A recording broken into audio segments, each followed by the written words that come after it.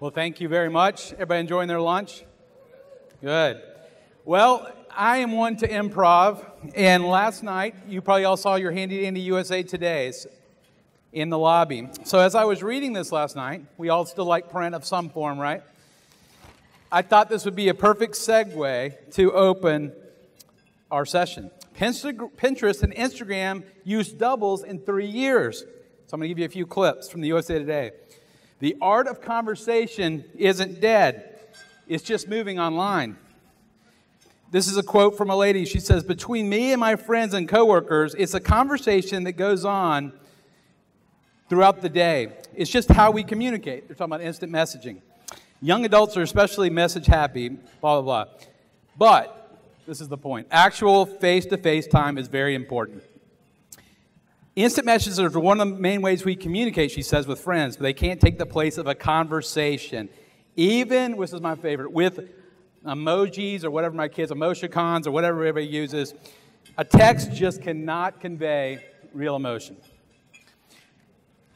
See, we talked about social media and all that, and I said in the earlier session, social media is wonderful. We, I see it out there. I'm going to tweet some stuff out later. I use a lot of things, but social media without the human touch is just posting things online. So oftentimes I get, so you're saying the Dale Carnegie old school way of communicating is where it's at. And I say that's very important. In both my books, I talk the personal touch is key. Or you speak at social media conferences. You don't care about the personal touch. You, you, you, you think Twitter and uh, LinkedIn and all these things are the be all end all. And the answer is I think they're both important, but they're centered on one thing us, the human being. Agree? And as we open, before I show you a slide, who here may think this is the best device ever created? And who here thinks this might be the worst device ever created? As you walk through the airports and people are, are, are, are standing and pulling around, you, you know, looking down. And, and I encourage, I have a column I do with print and promo that says, Leaders Look Up. So let's get into the um, session a little bit for your lunch. You know, when I wrote this first book, uh, Everyone's in Sales, everybody has this view of salespeople, whatever your title is, that is not what this session's about. Sales is a way of communications. If you're in accounting, you're in sales.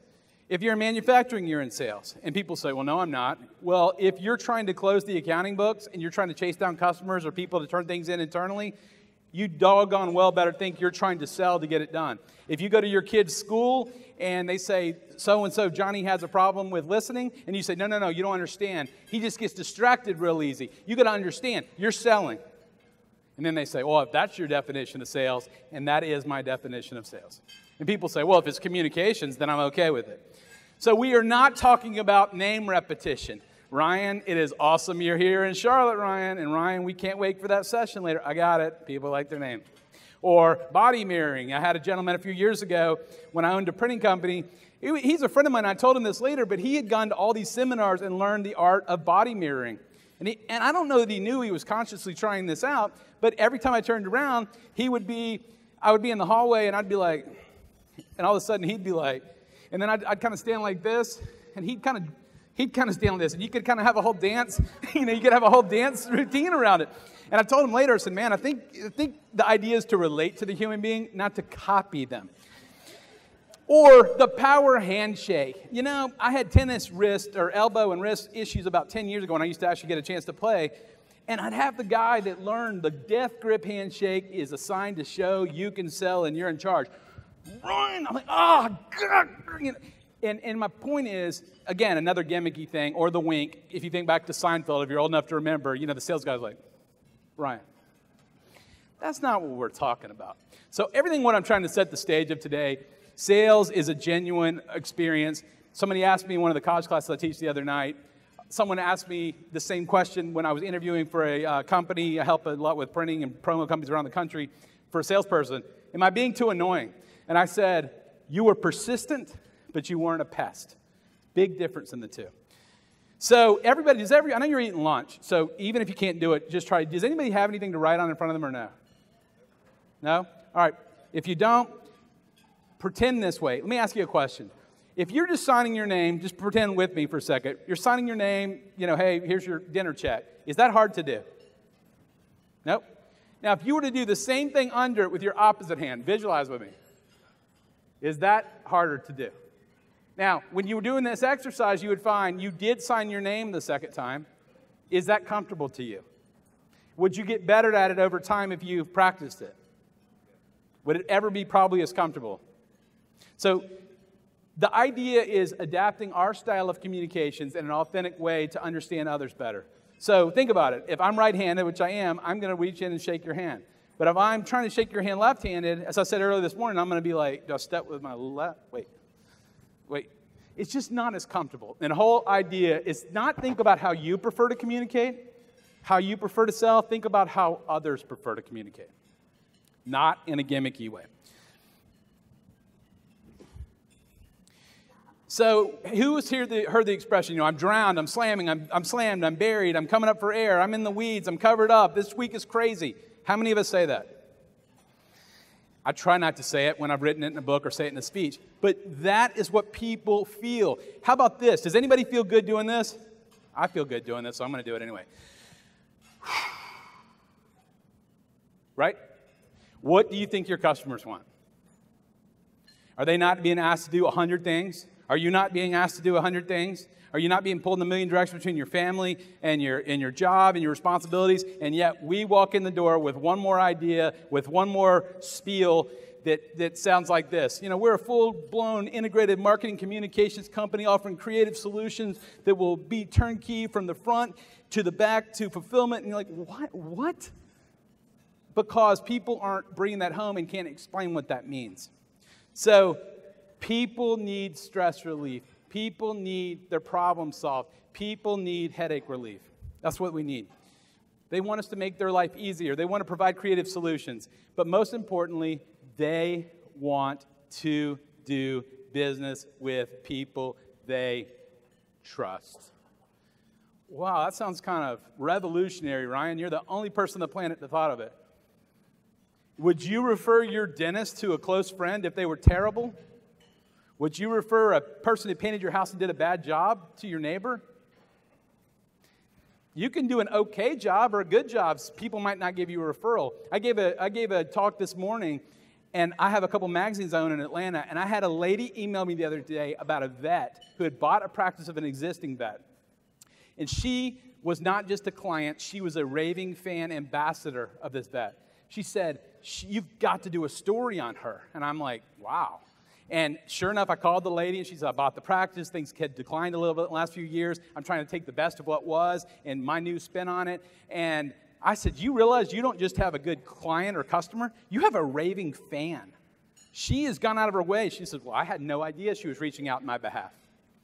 That's what we want. That's that you see, there's a difference. Somebody can say, I could do a survey for your company, and they say, Yeah, you're doing a good job. Watch. Yeah. Uh, yeah. Yeah. It's like my youngest daughter. I have three daughters, so you got to feel, yeah, Dad, I'm. Well, that to me, I'm like, what does that mean? It sounds like something's not completely right there. No, it's, it's, it's, it's good. Well, it's, like, it, it, it, it, it's good. Good and great are two different things. And let me show you something real quick. Everybody can do this. Stretch your arm up for me. Take a break from here. Just uh, put your right arm up or whatever. Okay, stretch it. Now, really stretch it up. That was what I want us to focus on today. Good and great. So that's what we're going to be going through a little bit as you eat your lunch. Um, everyone's in sales. I built this upon a pact, and I'm going to come back to that in a minute. We talk about B2B, we talk about B2C, uh, marketing and sales, and all those are very important. But I actually started saying, what about H to H? What about human to human? Behind every Twitter account, behind every LinkedIn page, behind every Pinterest account, behind every Instagram account, behind every Google Plus account, there's a person. And yet, that's hard to remember sometimes. Right? Because it's online. The whole secret is no secret. It's, it's blending the two worlds together. It's integrating our communications so that we realize what's online, there's human beings, and human beings need to be understood. You know, Covey argued, Stephen Covey argued, uh, seek first to understand, then to be understood. How good does it feel when someone truly without any motive just listens fully to what we have to say. This isn't my idea, folks. This is biblical concepts from the beginning of time. What I'm saying is, if someone's really saying, Well, how's your family? How are you doing with that? How are things going? You feel great. I feel great. But when somebody's talking to you and you're saying something like, up, up, up, up, you feel like they're not really listening, and yet we're all clamoring for airtime. It's probably the only time I can get airtime when I don't get interrupted. but, but, but, but in all seriousness, we're all trying to get our message in in a world that never stops. Who agrees our world never stops? Remember 9 11? After 9 11, I should say, when that is when all the scrolling across the TVs began. Go back in time and think about it. this stuff I think about. That didn't begin until right after 9 11. Now it's the norm. You can't go to the gas station without noise in your ear. Put in Editech. I'm like, shut that thing off. The problem is people are bombarded with noise, making our message more and more difficult to get out. I showed a video earlier today, and it said, a colleague of mine says, we have the attention span of a goldfish. I don't know where he did the research. He said it was solid. I don't know. But that, that's where we are. Um, to me, it is the best time in the history to be in communications, to be in sales, and be in marketing. A lot of people would say, No one responds to my email. No one calls me back. No one wants to buy what we have. They're buying from somebody. The choice is are they buying from you? All of this in my new book, at the end, I came up and I said a pact is what ties two human beings together. And if you look it up, it's a formal agreement between people. And to me, the four criteria to answer would you buy from you or everyone's in sales or whatever we're speaking of are four ingredients passion, authenticity, creativity, and trust. How passionate are you about what you have to say and do? What excitement exudes from you? Do people say, I don't know what I'm signing up for, but I'm pumped? I used to work with my dad in a printing company years ago, and he'd be like, Ryan, you get the salespeople so excited about coming to work here. I don't even know if they know what they're signing up for. So I had to kind of start to selling them out of starting for us. But I'd get excited. Authentic. Authentic in leadership. I'm working on my doctorate in organizational leadership. You probably heard of servant leadership. It's one of the newer leaderships. Authentic leadership is, is on the cutting edge. And what that means, some people debate it's not a type of leadership. I like to say it is. But that's trying to be the same in all circumstances. People in the back saw me and said, You're not going to eat lunch? I said, I will spill it on myself because I will. but that's not a secret. I mean, I said earlier, I'm the same guy at Home Depot, Walmart that buys all that gimmicky stuff in the checkout aisle. So what? Be who you are. And the whole idea of this is the only difference in what we're selling, what we're marketing, what we're communicating. We say the same words, the same things. It's us. And I want you to know, I'm going to say it over and over the biggest difference, if you don't embrace it, is no one can compete with you because only you can be you. Only I can be me. And my wife would say, Thank goodness. and everything's built on trust, just as we said earlier. Trust, trust, trust. And you know that's true. Trust takes forever to build, it can take a long time to build, it can be destroyed in an instant. And if you don't believe that, it doesn't take long to Google some of the recent developments. I won't name them, but look across the internet at some of the things that have happened in the last couple months. And look at people we thought were a person or whatever, and then things come out. And now, everything happens like that. Bad stuff travels quick, good stuff travels, but not quite as quick.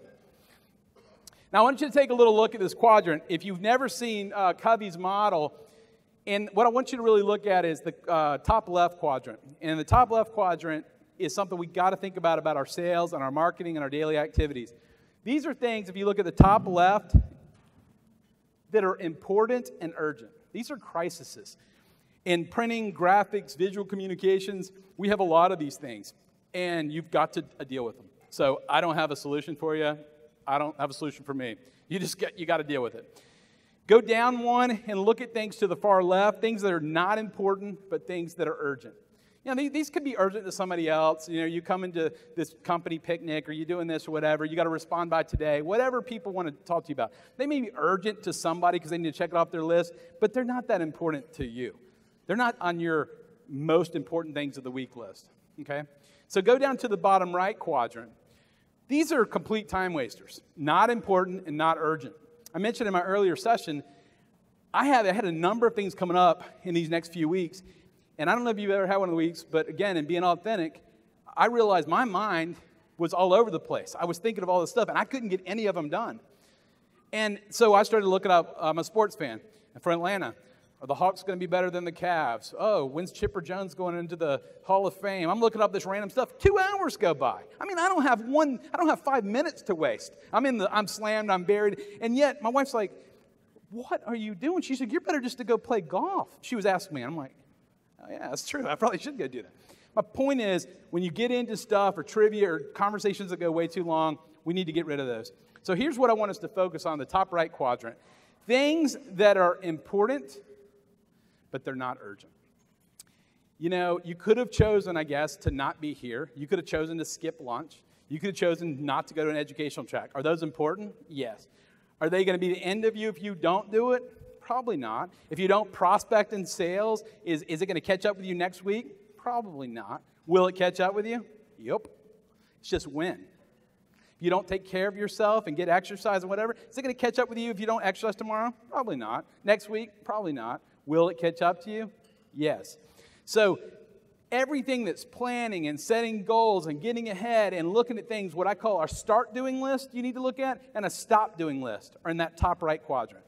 What things should go on your start doing list? Like pronto, top three things. What things need to go on your stop doing list? I like lists. I have about 100 things on my list. I'll be glad to show you. Some of them are ridiculous. It could say, plan for the lunch for fast signs. Well, I could probably check that off.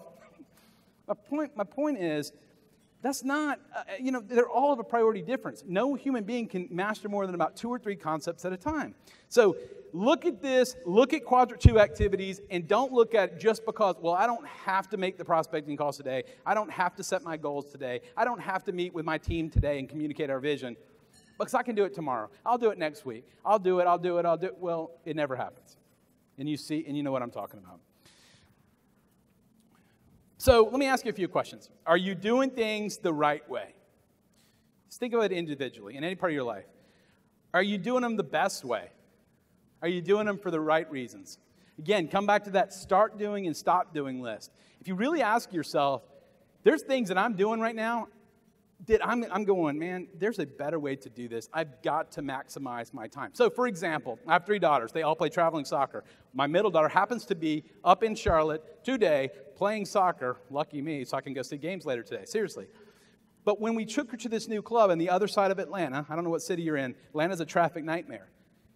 We can't just leave her there, even though she's 13 and the middle child, and go home and come back. We have to stay. So I said, you know what? There's a Panera Bread right around there and I'll go get all my articles I need to write or whatever. And I'll use that hour and a half, hour and 45 minutes to get stuff done if I couldn't get it done during the day when I go.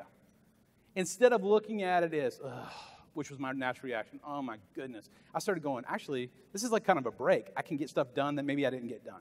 So I challenge you to think about things like that. Are you doing things for the right reasons? What's your reason behind what you do? What's your reason behind your actions? So, again, as I said earlier, someone will get the work. Will it be you? Why or why not?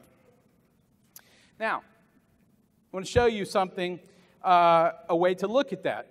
And if you look at this quadrant that's up on the screens, in the blue quadrant, we have things that are known to self and things that are known to others. I'm wearing a blue sports coat. Okay? Whoop de doo. You know, that's public information. If you look in the yellow quadrant, things that are not known to others, but they are known to self or known to me. If I said I have a fractured right ankle and I didn't tell you, that would be private. I don't, fortunately. But, but, but I, that would be private. So we're, we're not focused on that. If we went to the bottom right quadrant, we said things that are not known to others and they're not known to us. Will fast signs meet at this hotel again in the next 20 years? I mean, maybe that's planned out, but for the most part, I don't know. That's not, you know. What I want to focus on is the top right quadrant. What's not known to self, but what is known to others. I used to say in a lot of speeches, beware the blind spot, the top right red one. We all have blind spots. The question is not, as human beings, we have to be continual learners.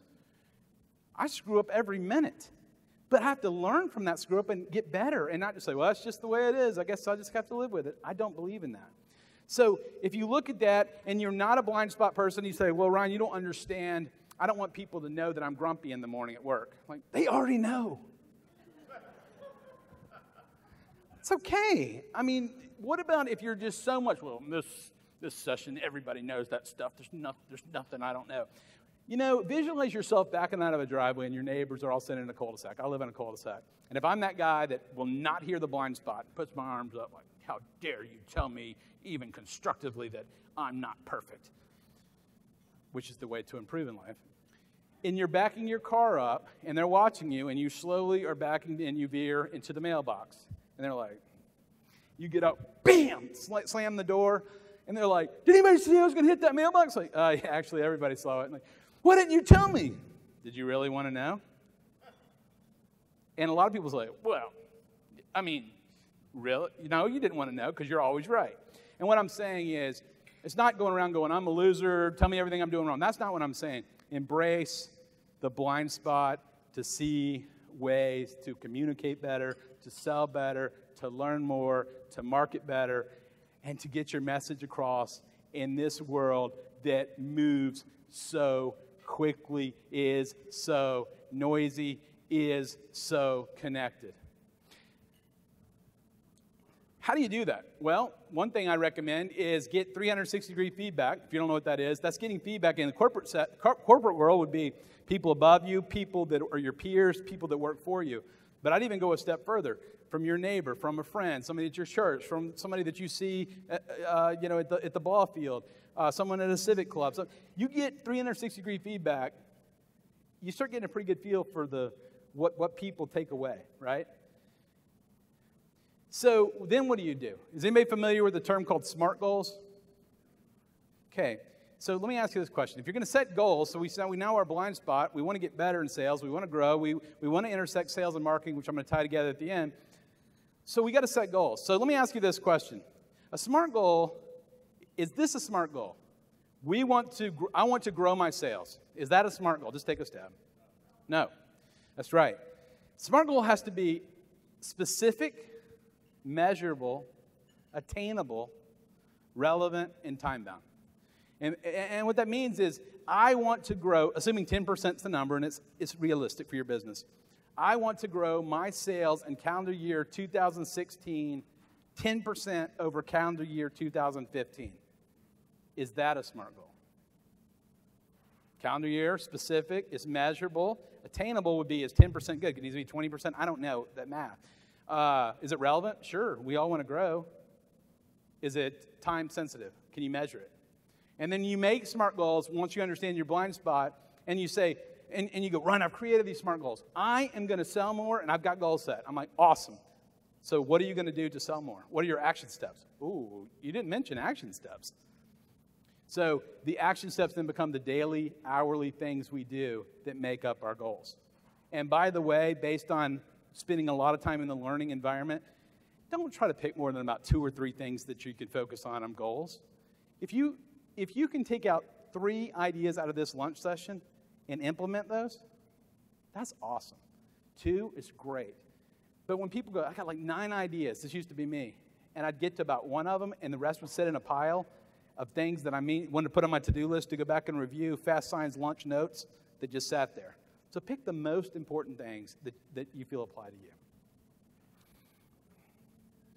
So, in my new book, I started talking about nine C's of effective sales. I think could apply to all of us. Again, everyone's in sales. We're all communicating a message, whatever our title is. The first one is credible. How credible, credible are we in what we say? that's like the word truth.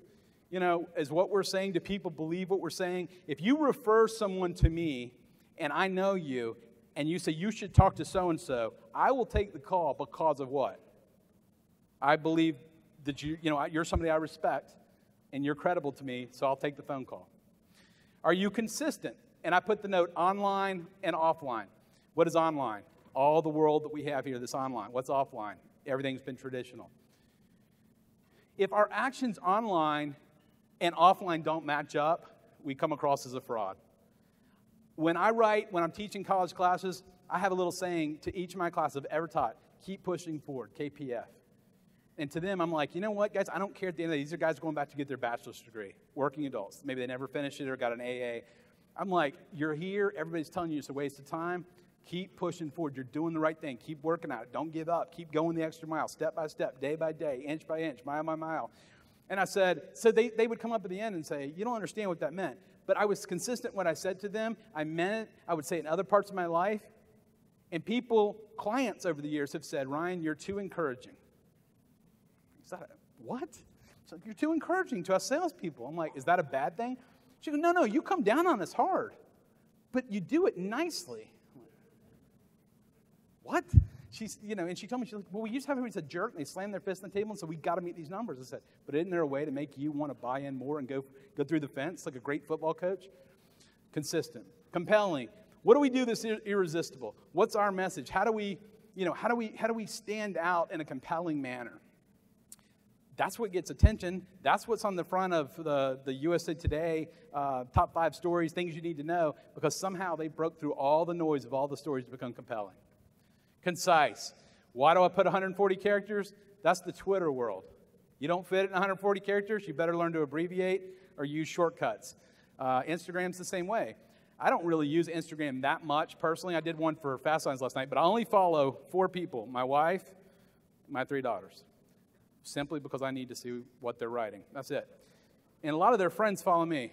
I don't follow kids back ever because I, you know that becomes an area. You know they can follow and see what I write, but I don't do that. And in Twitter, I just want to point out while I'm talking on this, kids and are younger and younger are getting on Twitter. So if you have a Twitter account, you got to be careful. You start seeing people that are 12, 13, 14 with Twitter accounts.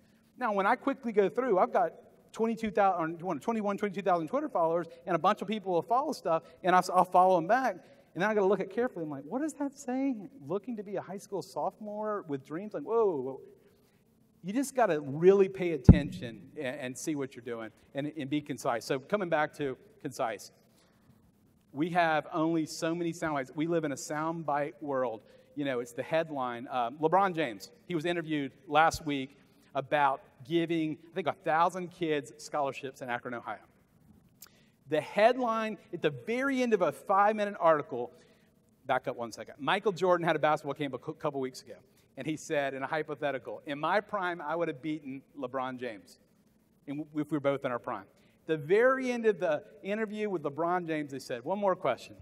If you versus Michael in your prime, who would win? He's like, man, me. He said, but we'd be going out in wheelchairs and ambulances. The headline in the USA Today, probably while I was wasting time one day, said LeBron James would beat Jordan, he says. Nothing about the thousand college scholarships.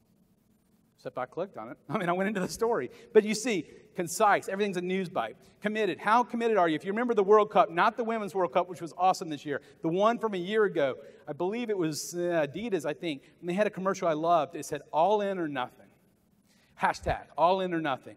That's it. You got to be fully 100% engaged in sales. You got to be able to look at yourself and say, man, I pulled out everything. I was credible. I was consistent. I was creative in my approach. I left nothing that I didn't ask people for their advice or ways to do it better, and I didn't get the job.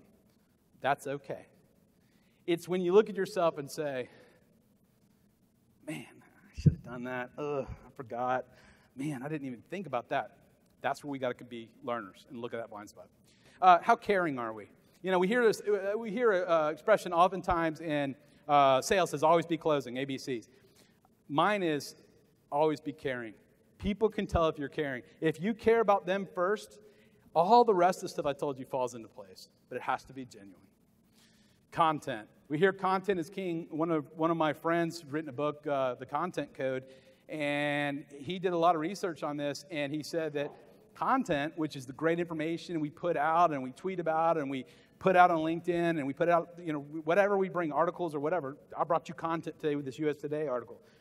Used to say if you put out enough content, you're going to be at the top of the pile. And the argument now is that's just to get you in the game. Everybody's curating content, which is pulling information in, or they're creating new con- content themselves. So consider content and information you're bringing very important in sales. Character. Your character says everything in clarity. Keep it simple, stupid. Be very clear in what you say, especially online. And remember, like I said here, emojis or all this stuff, they don't get the job done. Just putting an LOL.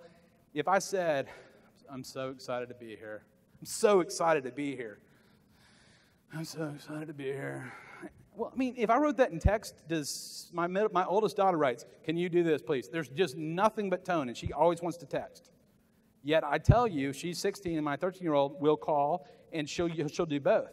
I'm, so I'm going, wait a second, we can't just dump all younger people into a bucket. And then again, I know people in their 60s and 70s, whatever, they've embraced social media. And people are like, wait, wait, wait a second, I thought all those people would just read the newspaper and all the young people, they don't talk. Research has tendencies, but it is also we're human beings. So let me show you a couple other things. In our sales competence, the first level is we're unconsciously incompetent. What does that mean? We're not that good and we're not aware we're that good in sales. The second stage, as we grow, we're aware, but we're still not that good. Think about when you're driving a car. First stage, you don't, you don't know you're that bad a driver, and you're a bad driver until you get a fender bender or a ticket, and then you, your parents, if you go back in time, say, You're not going to be driving at all if you do that again. So now you move to stage two. You're not good still, but you're aware you're not good. Stage three is not all bad. I like stage three a lot. You're aware and you're pretty good. Because in stage three for me is you're a continual learner. You're not the person in this lunch going, ah, he's not said anything. I've heard all this stuff before. I've heard it a million times. This is the biggest waste of time. I mean, anybody could get up there and say that. Not me. I would say there's always something to learn. Because stage four, the only fear with stage four is like us driving a car. We're unconsciously competent. I drove from Atlanta up here. And guys, I didn't think about put key in, turn ignition right, put in drive, emergency brake pull. I just did it you're driving 80 miles an hour, got your hand on the wheel, and you're not even thinking about it. And that's all good and well, but you don't want to get into a lazy man syndrome where this is how I've always done it. That's how I've always done it. You know, I'm from the South. I can do my how we've always done it here. I don't like all that social Insta, Twitter, man, Twitter, whatever it is. I, I don't get on any of that stuff, Ryan. I'm like, okay, dude, can you, we're not, you don't have to do the accent. Come on. So we, we, we, have, we have two options. We can either be moving forward or going backwards. There is no such thing as staying the same. There's no such thing as staying the same. Where are you in your sales? Where will you be a year from now? So look at our time. You know, I like to say you cannot say you didn't have time. We hear this all the time. Ryan, I've been slammed. I didn't have time. You didn't make time. Right? I have 168 hours in the week, 24 times 7. You have 168 hours in the week, 24 times 7. You might work at a company that has 500 people. I might work at a company that has two people. You have more headaches, you have more manpower. I have less headaches, I have less manpower. It's irrelevant. It doesn't matter how rich you are, where you live, how poor you are, male, female, doesn't matter. We all have 168 hours a week in, in the week. So in our world, we have a total inundation of multimedia every day. And I'm not going to cover that anymore because I've already touched on it. That's what I think of time as total inundation, multimedia every day. Our message must stand out. So we all have a brand. The choice is not if you have one, but what you do with your brand. Brand is built upon trust. Everybody take their pen or something, not a knife, because I don't want anybody to stab each other. Just take something above your head, pointing at the ceiling above you. I want to show you something. Okay, and please don't stab anybody because I don't want to. I don't want to. Everybody should know clockwise in this room. The younger the audience gets, they don't know what clockwise means, so it's not going to work much longer. All right. So taking your pen, watching your own pen or whatever, clockwise, pointing straight at the ceiling. Start bringing it down, still going clockwise, straight at the ceiling. Bringing it down to eye level, still pointing it up, straight at the ceiling. Keep bringing it down. You start looking down at your pen, still pointing up, straight at the ceiling.